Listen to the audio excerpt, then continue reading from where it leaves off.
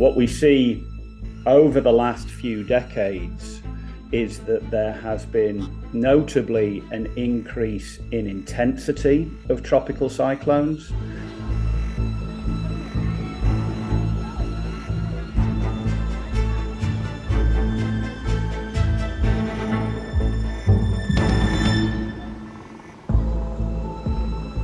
There's also increasing evidence that the tropical cyclones that we see move at a lower, a slower speed. Because they stall a lot along the coastline, they can deposit huge amounts of rain.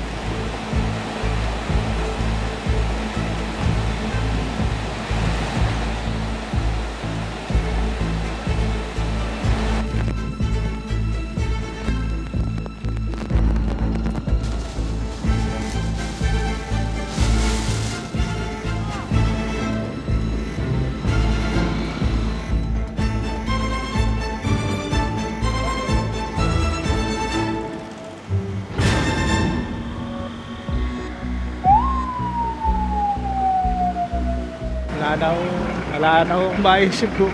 Ano ikwento pa gagawin ko. At naanod na lang bahay, wala na.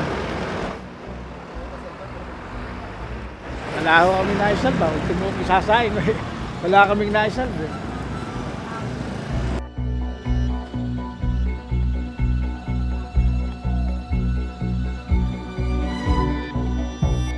Events that in the pre-industrial perhaps occurred once every 500 years now occur because of climate change once every 50 years. And if we don't do anything about climate change, when we come through to the middle or the end of the 21st century, there'll be sub-decadal events.